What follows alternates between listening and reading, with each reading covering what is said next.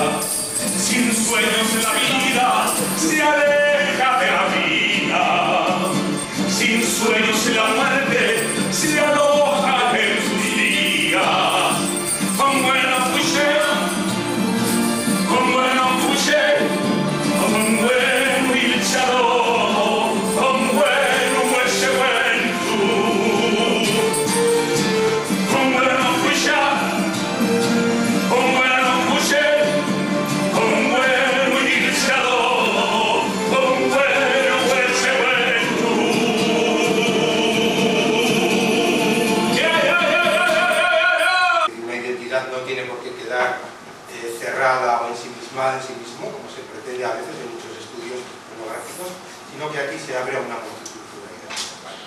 Eh, tengo que decirle que la presentación de la tesis doctoral es eh, realmente, realmente buena, la documentación que añade también incluye, incluye un anexo.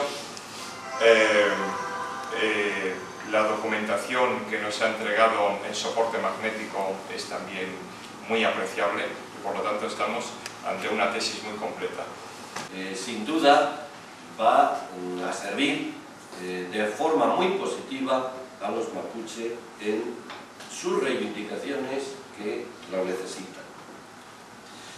El desarrollo mm, que realiza de las eh, deidades y creencias mapuche pienso que alcanzan una alta valoración investigadora muy apreciable que eh, me ha encantado el poder, el poder. El glosario que va a continuación del apéndice o explicación de términos me ha parecido muy adecuado, me ha parecido muy útil. Y después de expuesta y defendida por el interesado, se acuerda concederle la calificación de sobresaliente como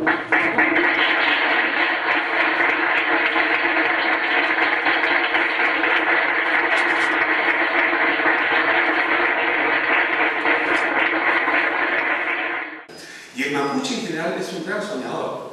No existe solamente esa diferencia entre estado de vigilia y sueño, sino que la actitud es de mucho sueño, de mucha meditación. ¿ah? Entonces yo he escrito esto que se llama mensajes, perdona, mensajes de plata. De plata porque en realidad es el metal que más trabaja en para su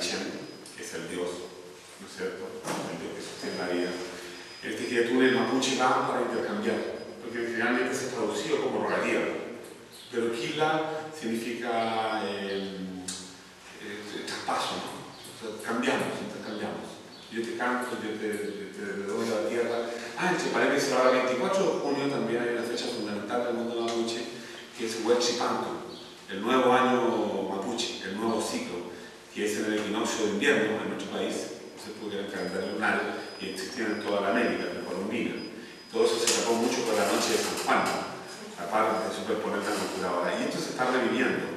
También dentro de este disco viene una cosa que se llama Deutsche Punk, y en ese día eh, dice, eh, los huesos se ponen frágiles.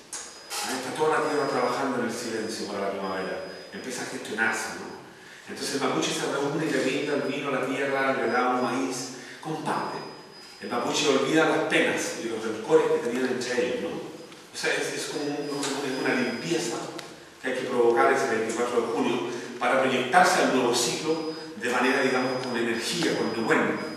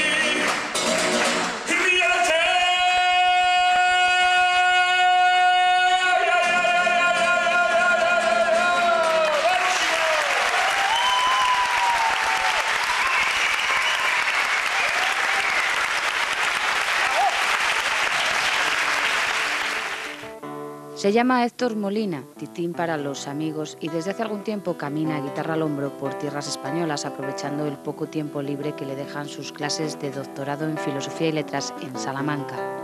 15 años en la música y un sobrado reconocimiento no solo en su país, sino en toda Latinoamérica le avalan. Viene de un país convulsionado por una historia reciente que más vale dejar en el olvido cuna de grandes dolores, pero también de grandes voces que han cantado al amor, a la esperanza, a la injusticia. Marchihueo, que significa diez veces venceremos y que fue el grito que retumbó en Arauco por muchos años. 300 años, tres siglos, porque Arauco, como te decía, no fue domado y fue el grito que, que, aunó estas fuerzas telúricas y volcánicas de, de la gente de la tierra. Le he querido llamar así porque también uno de los caciques mapuches llamado Lev Charú, cuya estrategia militar se estudió en Prusia porque era muy inteligente en la guerra, eh, en un momento determinado cuando había destruido todas las ciudades chilenas y puso en peligro la conquista, ha gritado ahí, Charúa yo soy el, el, lautaro que ha vencido al ladrón de tierra. Y en ese momento él promete llegar a las Españas. Y hemos llegado por un son de paz, por supuesto.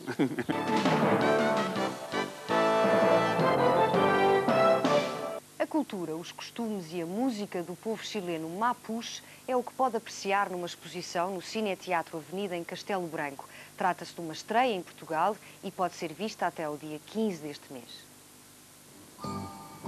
É uma viagem à América Latina, uma viagem a uma das poucas civilizações que defendeu sempre a sua autonomia e integridade.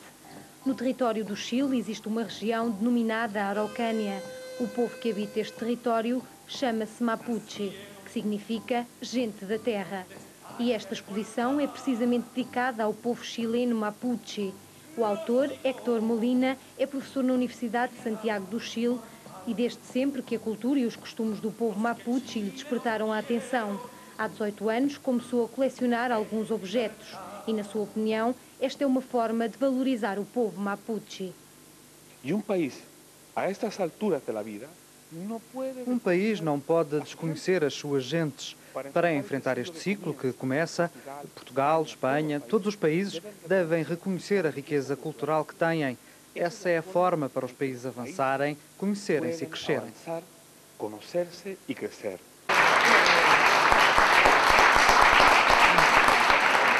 Marritihuevo. Cantos, cuentos y sueños para todas las vidas. Ulcantum epeu Capeuma y Trocón Moguenme. Un estudio antropológico, histórico y filosófico de la cultura mapuche.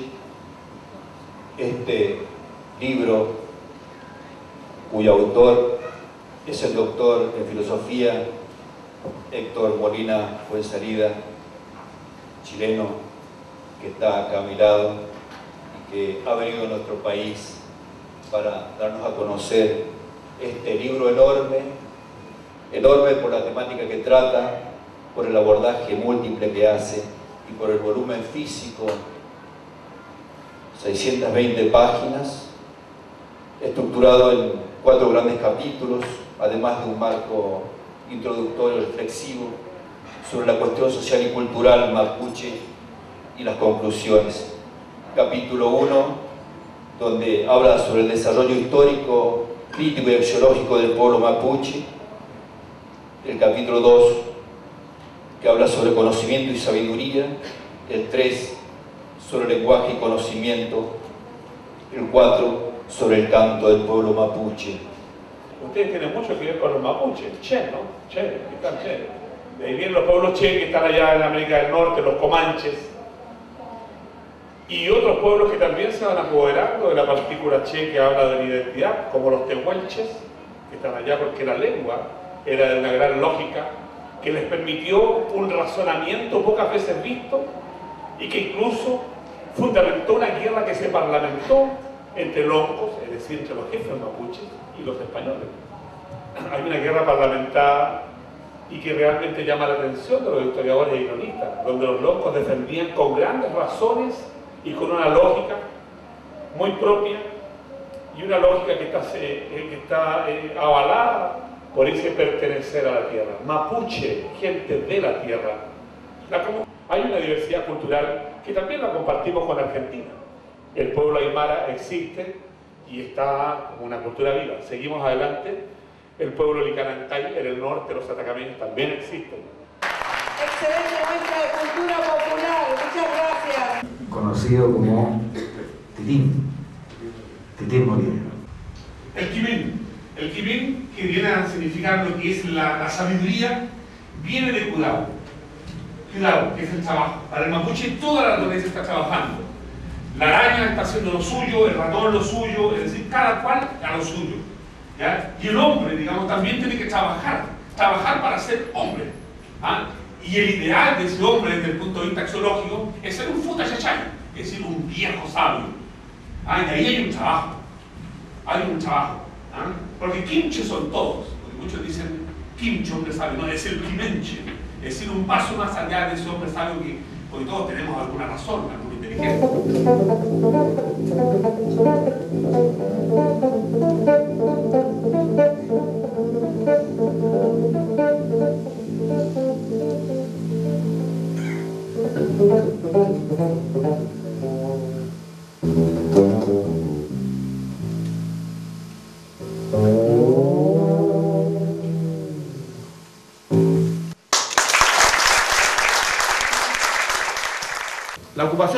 De el capítulo 1, el numeral 6.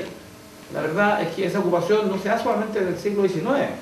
Eh, y nuevamente volvemos al debate respecto de la constructividad indígena, particularmente con las empresas forestales, en relación a, la, lucha por la tierra, que es lo más sagrado eh, y lo más importante para el pueblo eh, mapuche. Respecto de el Kimun, la naturaleza como fundamento, la sabiduría mapuche del capítulo 2, la verdad es que uno dice, si de verdad queremos eh, salvar al mundo, la verdad es que más que recurrir a algo y una verdad incómoda, lo que hay que buscar, es, por cierto, en la cultura indígena, los pueblos originarios, particularmente la mapuche, cuando queremos saber el tema de Chile, cuál es la armonía, cuál es la sabiduría del cuidado que hacía el mapuche de su entorno, que le permitía vivir. Son las divinidades a las cuales uno asciende a través de los cantos de Machi. Cantos puros y que fueron menos eh, alterados que otros cantos. Esta canción es la canción de los urcantufes, la vía, la vía por la cual se puede llegar a los elementos más profundos de la cultura mapuche. Y esa es la manera de adquirir el quimin, quimin que viene de cuidado, de trabajo, muchachos.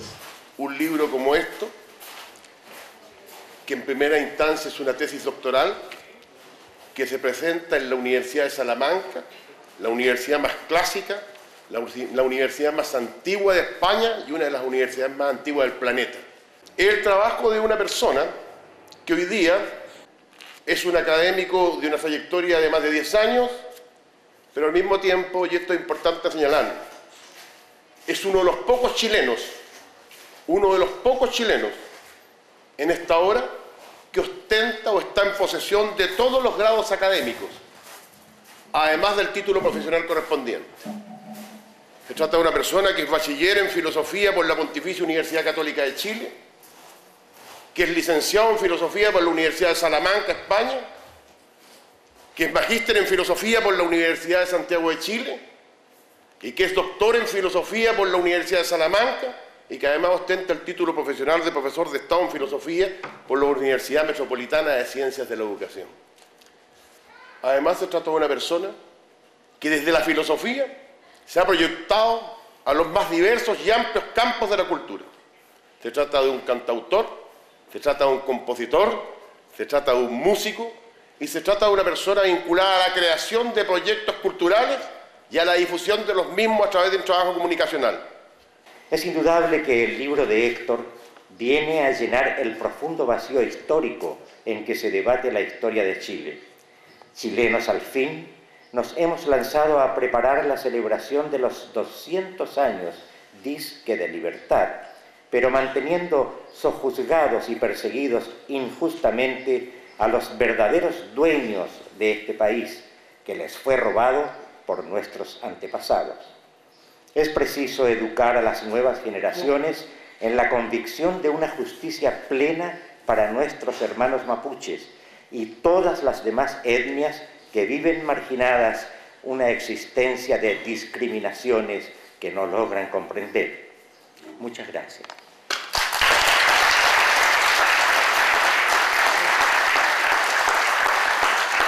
Y hoy día, para mí especialmente, es un placer, me llena de orgullo estar parado aquí en este escenario, acompañándolo en lo que significa el lanzamiento de esta obra, que tal como me lo comentó hace cuatro o cinco años que está trabajando en ello, y eso es el significado de años de sacrificio, años de trabajo, y es una pasión que él lleva en su corazón, y esa es la pasión que estamos tratando de impregnar a nuestra gente. Estamos trabajando y, reafirmamos el compromiso, amigo Titín, de estar presente cada vez que se requiera, cuente con los pescadores, cuente con este personaje que está dando aquí, y yo estar siempre con usted. Amigo mío, muchas gracias por este momento, especialmente a ti.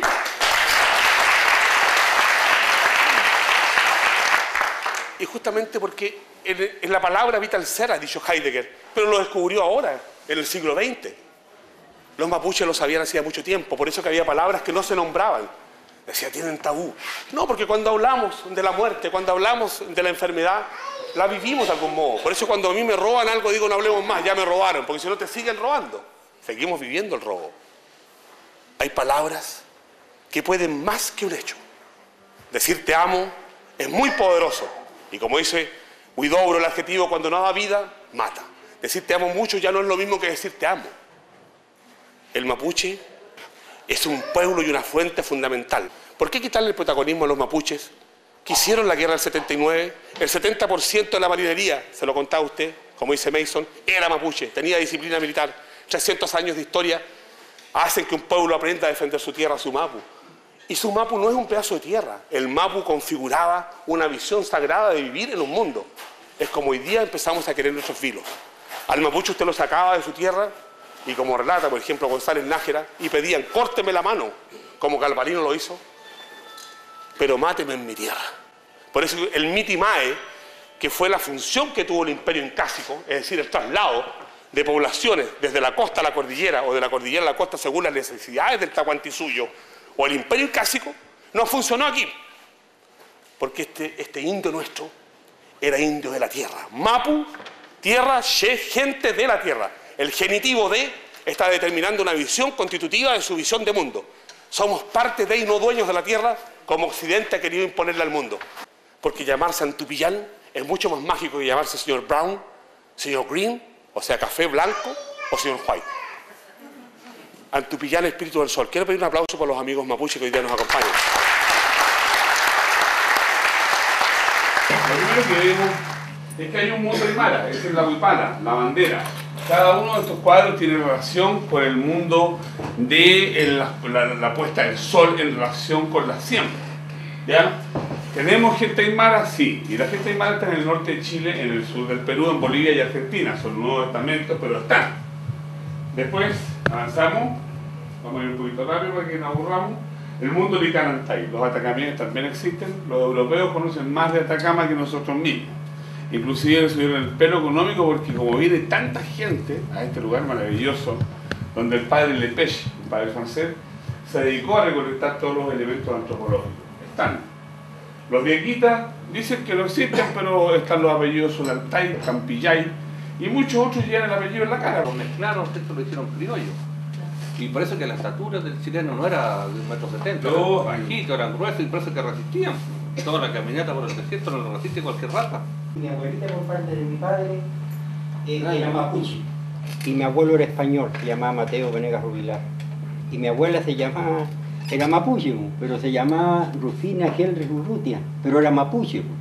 Y contaba mi abuela de que su, raza había sido igual que el araucano, había sido valiente, había sido arriesgada, porque mi abuela decía que no sabía cómo ella, ella, ella no comprendía cómo los yaganes y le quemaban los barcos a los ingleses, porque se metieron los ingleses cómo lo hacía. ¿Y qué pasaba? Porque, porque mi abuela era rubia. Yo tengo una foto de ella y, tenía el pelo así puro, así como las pelucas que usan los ingleses en, su, en los cabildos, así. Así tenía el pelo natural mi abuela y era rubiecita. Y los ojos celestes. Un inglés. Claro, pero ¿qué pasaba? Espérele, espérele, espérele, pero ahí, ahí, va la, ahí va la historia. Ahí va la historia. Eh, conté a mi abuela de que los ingleses agarraban a las yaganes jovencitas las llevaban a los barcos, las violaban y las tiraban al mar. Y la que se salvaba, se salvaba, no. Entonces, así como aquí en, esta, en estas partes fue saliendo el español, con mapuche, con araucano, en esas partes fue saliendo el inglés con el yagán. En el marco del tercer Congreso Nacional de Concejales, Héctor Molina fue en salida edil por los Vilos, aprovechó la ocasión para presentar parte de su libro Marichihueu a la sociedad osornina. En dicha obra, el concejal entrega un estudio antropológico, histórico y filosófico de la cultura mapuche.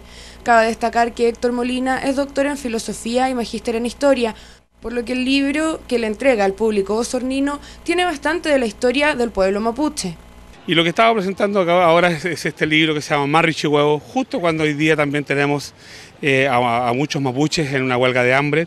Creo que sería interesante, por lo menos, por decirlo menos moralmente para el país, que en este bicentenario hubiese un reencuentro con la diversidad. Yo pienso que de algún modo ha faltado ese esfuerzo generoso, poco mezquino, para poder integrar un Chile que no puede reconocerse ni avanzar en el tiempo sin los alemanes, sin los mapuches, sin los aymaras, sin los croatas, es decir, un Estado que realmente refleje un desarrollo y salga de la prehistoria eh, social en, la que vive. ¿Y por qué estoy tan feliz? Es porque estamos trabajando con una diputada en la modificación de la ley indígena en su artículo 28 y justamente para colocar algunos sitios como obligatorios dentro de todas las escuelas de Chile. Porque también tenemos que terminar con los mitos, como por ejemplo que la cuarta región solamente es de Aquita, ¿ah? en los vilos, que su nombre mapuche, Huentelauquén, y como lo mencionan los cronistas desde el siglo XVI, se hablaba el Mapudungún. Hoy día tenemos más estudiantes mapuche en los vilos y los hemos agrupado hace dos años en Antubilú, Sol de los Vilos, que también han solicitado, digamos, eh, clases de Mapudungún, es decir, eh, el anhelo de, reencontrarse con sus raíces. Marimari Pupeñí, Marimari Pulamien, Kamisaraki, Gilatanaka, Guyacanaka, Yorana Corúa, Etetainae. Hincha Jaime Jiménez, Piñenti, Oficina de Asuntos Indígenas de Coquimbo, Alasquemba. Mi nombre es Jaime Jiménez Cortés, soy encargado de la Oficina de Asuntos Indígenas de Coquimbo. Y como oficina y programa estamos enfocados principalmente a establecer el vínculo más cercano con los pueblos originarios y para ello estamos estableciendo un programa que establece cuatro ejes programáticos, el eje educación e interculturalidad, el eje medicina, salud ancestral, el eje jurídico administrativo y el eje enfoque comunitario y fortalecimiento territorial. El venir acá y encontrarme con compañeros y colegas que estamos hablando en el mismo lenguaje del tema de la educación y la interculturalidad me parece fundamental, pero por sobre todo establecer esta red que nos permita a nosotros como eh, la región, región multicultural, región de los tres pueblos originarios, de los pueblos originarios las tres provincias más importantes de la región. Así que yo agradezco fundamentalmente este espacio y agradezco también a Héctor que ha sido también un punto de encuentro para nosotros, un punto de, poder establecer esta línea, no solamente desde, la ciencia, de la política, sino también del buen, pensar, desde la filosofía, desde el amor. Así que muchas gracias, Upeñi, Lamien y Chaltumay, Lemora Puche.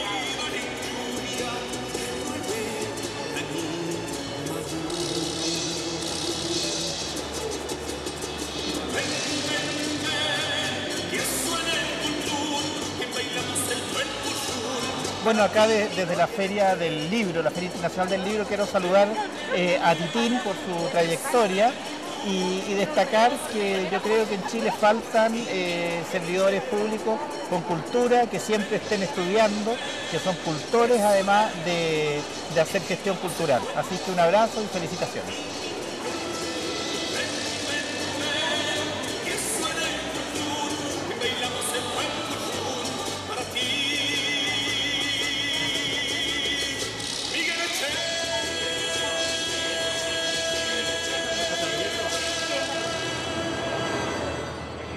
Bueno, un saludo para los Peñi, la miel de Antubilu, Antubilu, y que sigan eh, afirmando su identidad, su sentido de pertenencia, porque la cultura es lo más importante que hay que salvaguardar y la multiculturalidad es una riqueza para la humanidad y para, cualquier pueblo y en cualquier parte del mundo. Por lo tanto, eso es un sentido de la vida. No puede hacerse otra cosa si la cultura efectivamente no se respeta y no se valora y no se pone en su debida dimensión.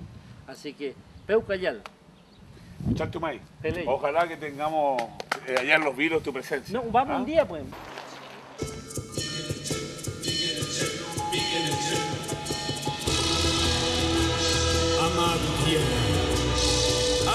Tus hermanos y a tu destino, como a tus propias manos. El huele animaún. Vamos al Quillatú a pedir los favores de que me echen en las cumbres del Aní. Vamos al Quillatú, vamos al Quillatú, a rogar por la lluvia mientras bailamos el pueblo. Allá vienen los hombres de Tembulco y de Muiche, vienen con sus hermanos a darte gracias, mi leche. El buen Netañí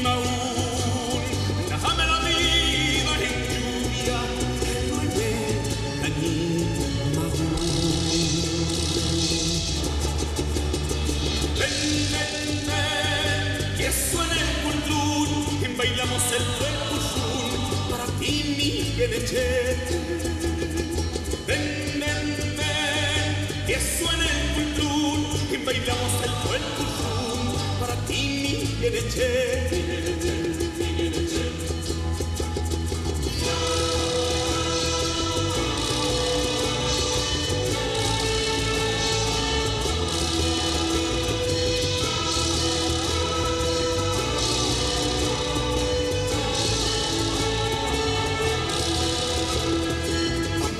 Tras la bandera negra, caballo negro, ropaje negro, mi. Pedimos un cielo negro con nubes negras para la vida, mi. Allá vienen los hombres de Tembulco y de.